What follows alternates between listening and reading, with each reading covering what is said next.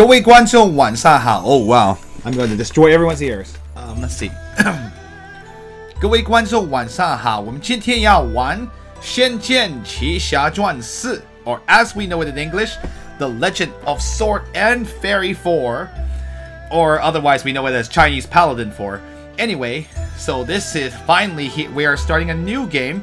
As you can see, this is in not in not Shadow Hearts, unfortunately, because we have finished that game and that means we are done and moving on to The Legend of Sword and Fairy 4. So the way it's gonna work is, if you've noticed, the text in this game is Hi Illusion Queen.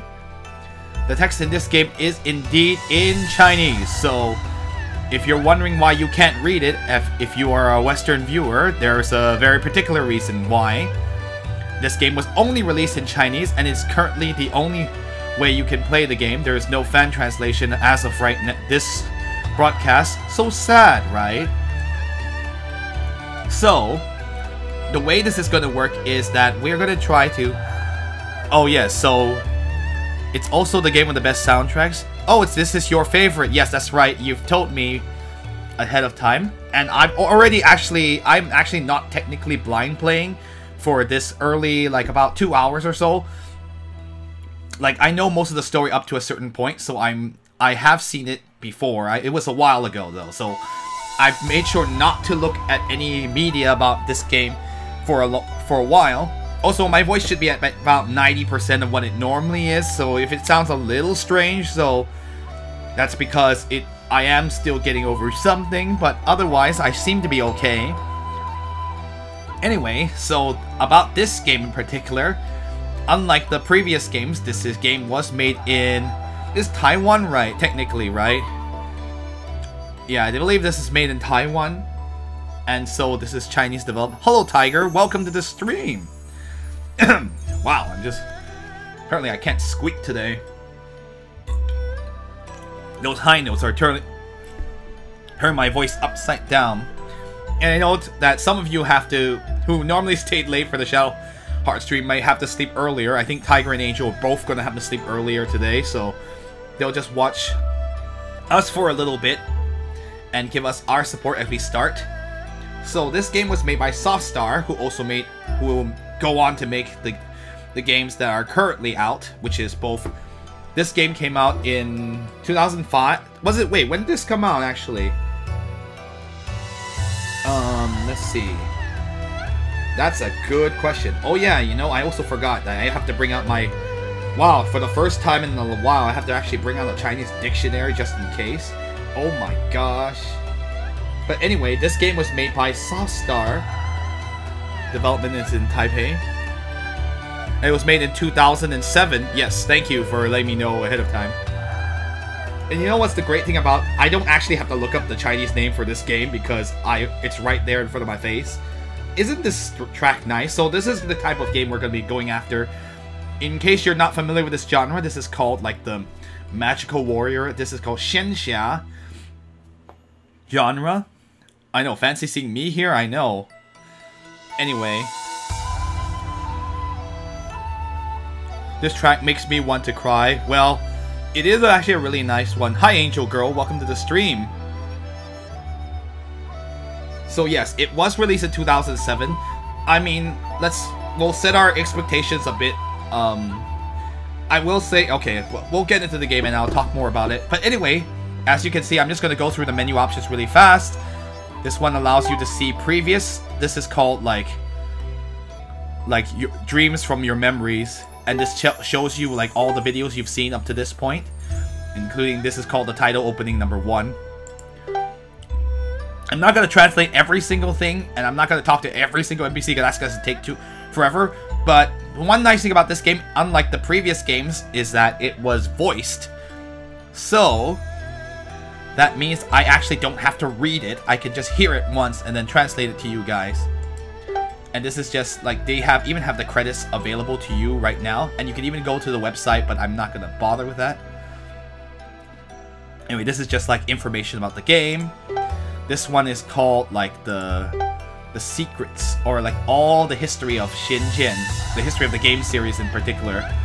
Like how it started off in 1988, the original version of the game of the first game. Hi KevBot, welcome to the stream. They even actually have a summary for each game. The Legend of Sword Fairy 1, 2, 3, and 4. This is called the, the story of Xianjian, the story of, of the Fairy Sword. The world of the Fairy Sword, you can actually read all... This is like a gigantic details and lots and lots of... Um, and like this is some this is about the secrets of the ancient swords, which I don't want to go into. We'll bring it up whenever we get to. You can tell like there's a bunch of like supplemental information. And this is just this is actually a Q&A for Xian the fairies, Legend of Fairy Sword. Hi, Kevbot. New game. Ooh, for every game now. We're to carry over the chant from Shadow Hearts. I actually have to tr translate the entire thing. Ugh. So yeah, we'll, we'll translate only the things that are most relevant to you guys, because I don't think you want to sit here and listen to me rattle on about everything. This is called The New Beginning. This is called the old memories, and this is to leave the game, but we're not going to hit that button pretty much ever. Alright, let's go ahead. Before we do it, we need to take care of the Q&A. This is called the Q&A for Legend, uh, Fairy and Sword. Yes, it gives you extra items when you start the game.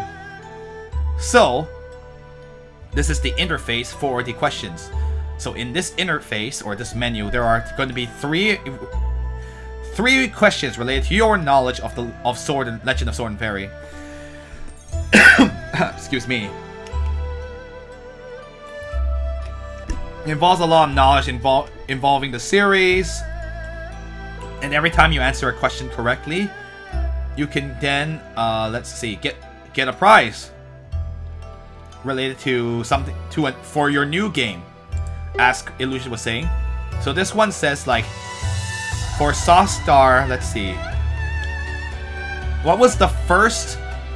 Let's see, how do I say this? What was the first first martial arts warrior RPG that Star made? Obviously, it would be the first one, which is called The Legend of Sword and Fairy... Yeah.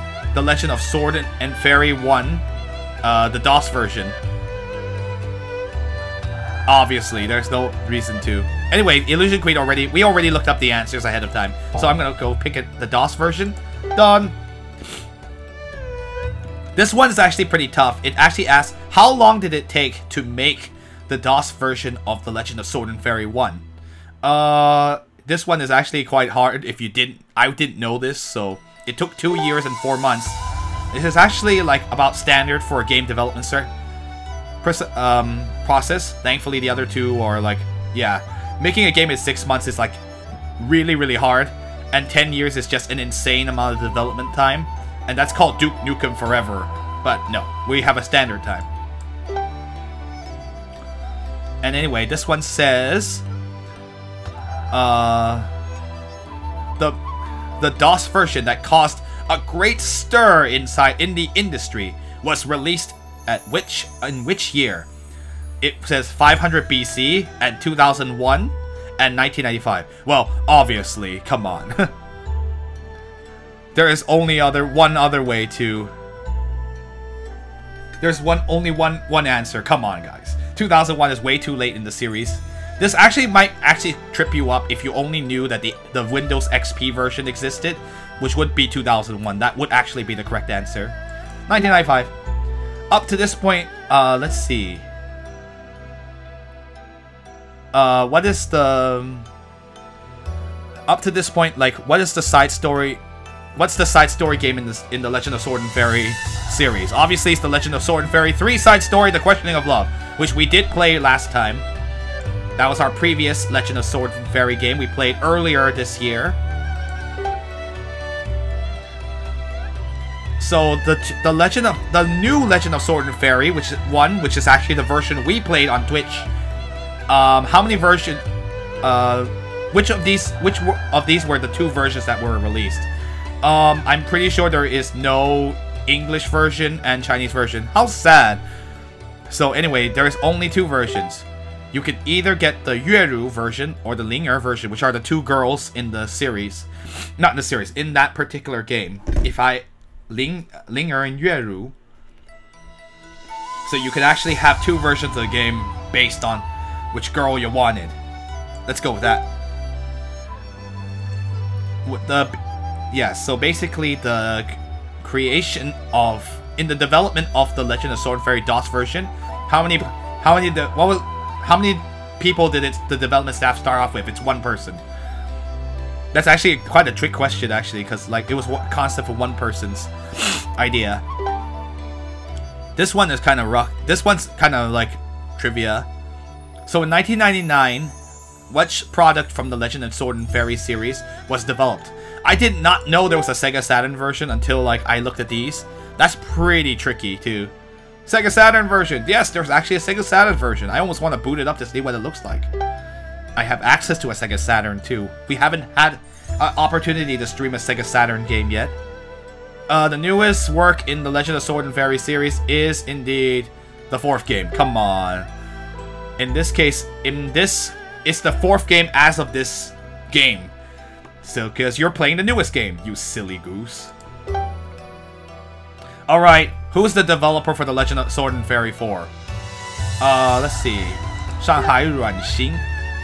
High Crown this hero. Yes, Shanghai Soft Star.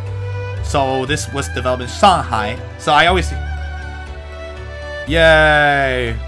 High Crown this hero. Welcome to the stream. We're answering questions. One of the greatest characteristics in the Legend of Sword and Fairy series is... Um... The, the story moves people. Uh, the rest is like... Nah, that's not it. And the and the characters are really funny. Nah, that's really not, not it. This, this series tends to be funny sometimes, but it's not always funny. It's more about the moving stories. The pain. The emotional pain. Oh, you're so awesome. You got all of them correct. Okay. Alright. Let's go ahead and go through the stories. It'll be quick. I'm sorry, I don't want to slow us down. So, what was the most thing? This what was the most heartbreaking thing in the Legend of Sword and Fairy 1? Uh the love the love triangle between Li Xiaoyao, Zhao Ling'er, and Lin Yue Lin Yueru. I think that's the best. I think that's that sounds about right. The ambitions of the Okay, we'll we'll just give you the translate the correct answer. Otherwise we're gonna be spending all our time doing this. Hi Lord Tier, welcome to the stream. In Xianjian 1, Li Xiaoyao escorted uh, Zhao Ling'er to... For what purpose? To go to the Hunhou Miyue... No, no, no, no. We're not going to honeymoon. Uh... Uh, to escape disaster? No. To find her mother. Yep. I remember this. To find Ling'er's mother. In The Legend of Sword and Fairy 1, the... Let's see. What was the method by which the Lin the Lin family helped Lin Yueru find her find her husband. Uh, this is called. It was called. You have to beat her in battle with the martial arts. Um, the martial arts matchmaking tournament. I know it's kind of weird. Game's weird, man. Chinese culture is weird. Oh, Chinese martial arts culture is weird, man. You want to get a wife? You have to beat her in combat. Okay the Li Xiaoyao in the Legend of Sword and Fairy 2. So sorry, I will have to scroll up just a little bit, just to make sure I'm not getting this wrong. Oh, okay. He had already become the leader of the Shu Mountain Guild. Sect, basically. In the ending of The Legend of Sword and Fairy 2, wow, this is huge spoilers. Uh, let's see one of the female leads, uh, Su Mei, uh, she had married Wang Xiao. No, that didn't happen. She became a fox again because she used her life. She sacrificed her abilities and her cultivation to save their lives. Cool. What is the title, of, the theme of The Legend of Sword Fairy 3? Wow, this is like going back to memory lane. Oh! Reincarnation, man. Reincarnation. Lun Hui, which is reincarnation in Chinese. In the beginning, in the um, opening of Legend and Fairy 3, let's see. The demon lord, the great demon, uh, Chonglou, uh, destroyed what? He destroyed the, the Lock Demon Tower. Yay! Or actually, it's the Lock Monster Tower. Yeah, you're right. Never mind. I don't know why I hit demons. What was this? This is not demon. So the Shu Mountain Lock Mon Monster Locking Guild, uh, Locking Tower. In the Legend of Sword and Fairy 3, man, this is like going back through all the Twitch streams. This is like a review session.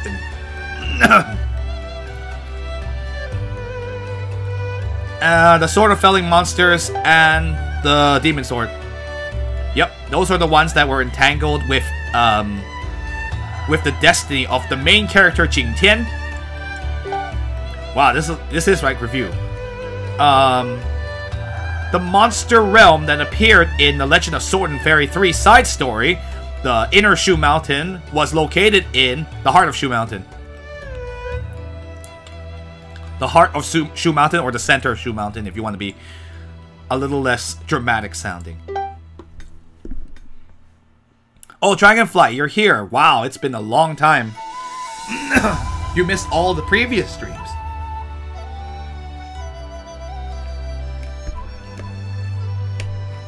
In the Legend of Sword and Fairy 3 side story, Ci Yan's tragedy was... began with... Oh, a false marriage to um, to a lady, which was actually used to capture, used to trap a monster. Basically, it was used to trap him because he was a monster, and then he got locked into the locked monster, into the monster locking tower. Hooray! False marriages are cool. No, that that was kind of a dick move on their part, but they didn't have any. I mean, they believed that all monsters were evil and they needed to get thrown in the tower, even though Ci Yan was certainly not evil. Oh well. Things happen. Alright, we got it alright. Alright, next set of questions. Next questions.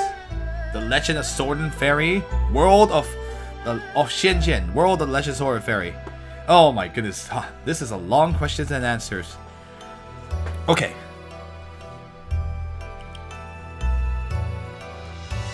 Oh, when the beginning of the story for the Legend of Sword Fairy 1, um, the story of Li Xiaoyao, what was this, our first impression of him?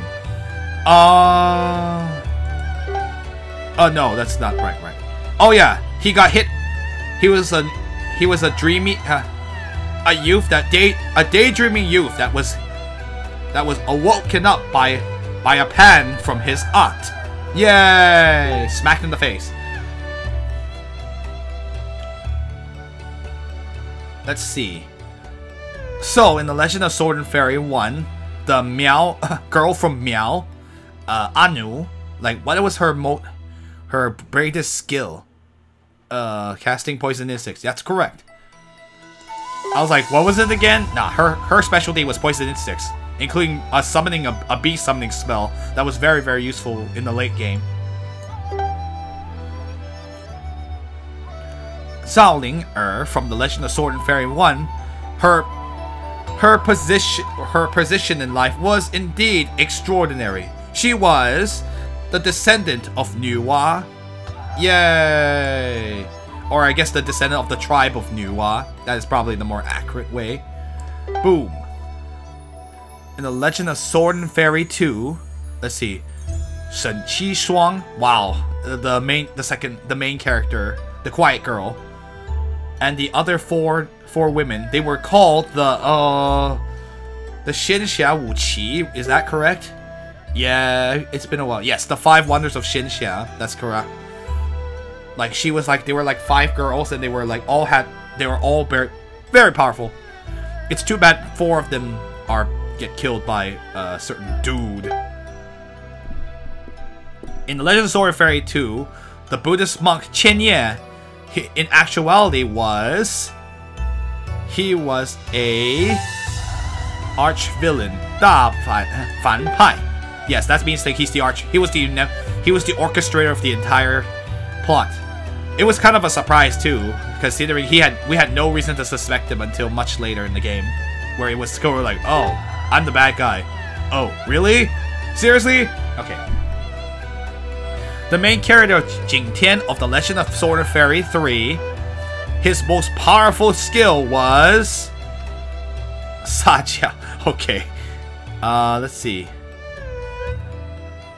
let's see, his accumulating wealth through unfair means. Yes, it is this one. It's using using dirty tricks to get money. Yep, he was a super thief. That doesn't sound like a hero skill. Oh, it's not, but that's our that's our main character for the Legend of Sword and Fairy 3. Tang Xuejian from the Legend of Sword and Fairy 3 had the same appearance as the goddess Xi Yao, and it was because Oh, this is a fun one to explain in in a short sentence. Um she was created in the image of Xi Yao from the tree, from the seeds of the divine tree. That's just the best way, best way to describe it. I actually described it to a bunch of people before. It's kind of, it's actually a bit a big spoiler for that game, but I mean, if you're watching this, you you should be prepared for spoilers from previous games. In the Legend of Sword and Fairy 3 side story, uh, let's see. There was up, let's see. How oh, let's see. I think a, a boss of tragic of a tragic nature appeared, and he was uh, it should be this guy, right? Liao Zi, yeah. Oh, not King Boluo. Oh yeah, yeah. There's, there's like a, the Pineapple King, but no, not him. It was the the Lord of Inner Shu Mountain, Liao Zi. He was um, how unfortunate for him. A guy who lost his memories. I was just trying to reclaim them back. It's actually very sad. Is there anything not sad in this game this game series at this point? Alright, The Legend of Sword and Fairy 3 side stories, main character Nan Huang. In battle, he was able to turn him transform into a frog! No, that's not right. He was able to transform into a wolf. Wolfie! So he had this like wolfy look, and like I think we we were all joking that it was like this was like is this Inuyasha or something? Anyway, that's an anime in case you don't know what that's from. The five poison, the five poison beast, through the power, through cultivation, can give birth to the five poison pearl. Seems legit. Is Final, Fog Transformation a Final Fantasy reference? I guess so. Alright, we're done. Alright guys, sorry for slowing down the stream just to play, get some items, but we might as well start on a good foot, right? Okay, now without further ado, we should have everything we need to begin the game. Let us begin with a new beginning. So enjoy the FMV. I won't comment too much on it. Let you soak it in. This is the health warning. I don't need to translate this. Soft Star, who made the game.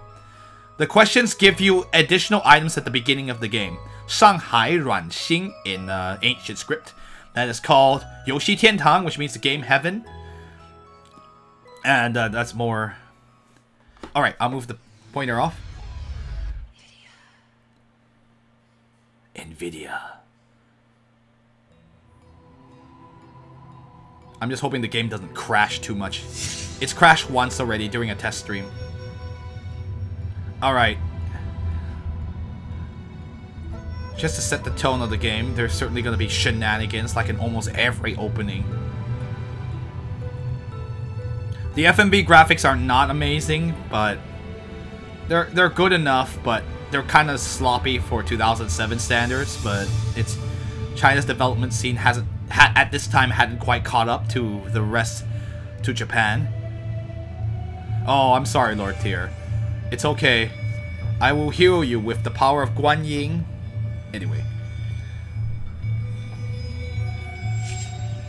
So a summoning ritual seems to be taking place.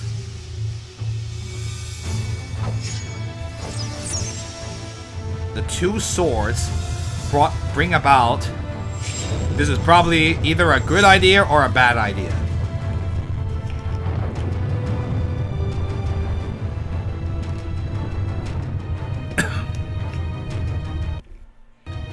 Oh, sorry. The there's been a bug with the FMVs that where sometimes the sound just cuts off for no reason. So please bear with us. I have no idea how to fix it. Hmm. These are some interesting beasts that have come up. They look pretty strong. Can these guys take him? Nope. Nope, they can't take him.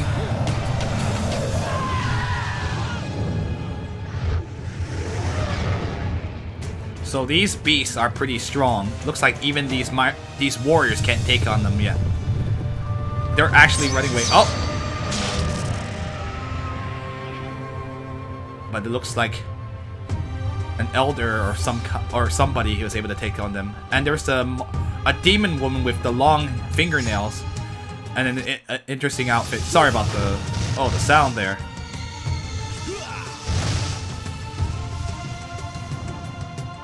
I don't know what this woman is capable of, or who she is. She's most likely from the demon race, but we don't know anything about her yet. Not all demons are bad, even despite their name. I'll tell you more about the six races as we introduce characters from each.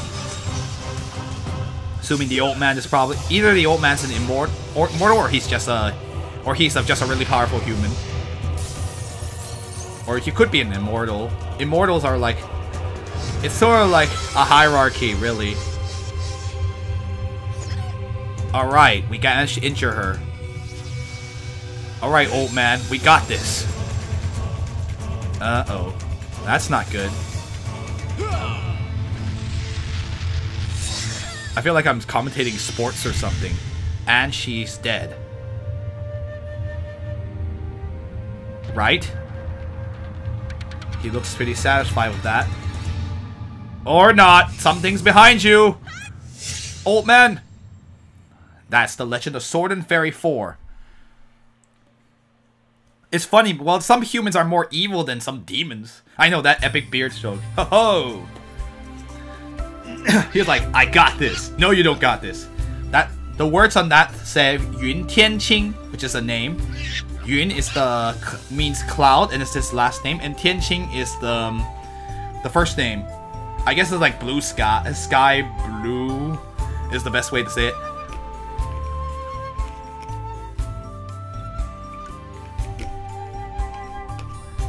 Alright guys, welcome to the graphics of 2007. Well, it's on the low end for 2007, but it's China. They haven't quite caught up in development the, as of this time yet. And this is our first time playing a game with voice lines, so let's get into it. This little this little mountain pig here just says oink. 爹，孩儿知错了。Alright, this is our main character, Yun Tianhe. His name means it's like Cloud Milky Way. Is this the way to his last name is Cloud as well, Yun, and Tianhe means Milky Way. It literally means like Heavenly River, but that means Milky Way. And thank you, Illusion Queen will also post a nice explanation of it the name of a mineral. I actually didn't know that. Yeah, so everybody in Legend of Sword and Fairy 4 is named after stones and minerals. Alright. Father. Father, you're... I know I've... I know I've made it... I've done wrong. The little pig oinks.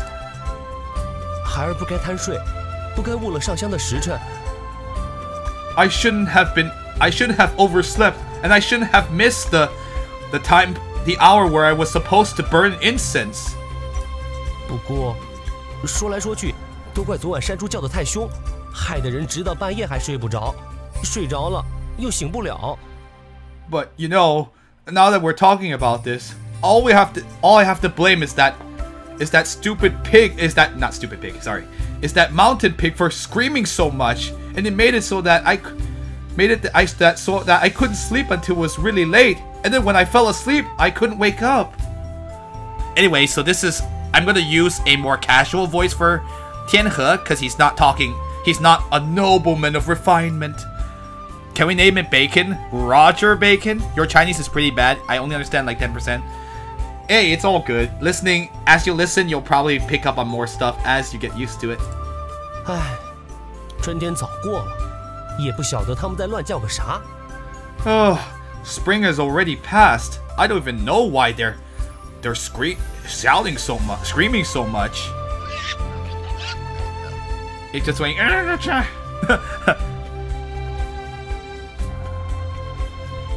so yes, the the pig oinks. 小猪，小猪，小肥猪，你叫再多声哦咦也没用，马上把你烤熟了当贡品。 little pig, little pig,